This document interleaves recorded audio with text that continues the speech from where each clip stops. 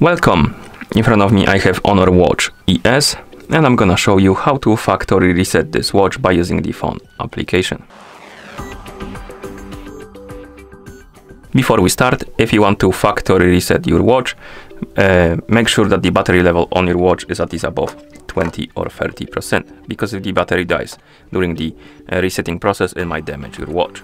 Another thing to mention is that if you want to use the uh, phone application to reset your watch, your watch needs to be paired with a phone via the Huawei Health application for it to work.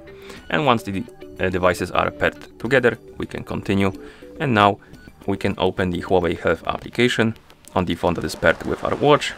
Once you open the app, you can tap on devices, select your Honor Watch ES from the list of devices, scroll down, find the restore factory settings option, tap on it, and then tap on restore to confirm the watch will dis disappear from the list of devices. It will start resetting itself to the factory default settings.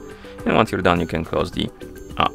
And of course, once you see the list of languages on the watch, it means that the factory reset is complete. Thank you for watching.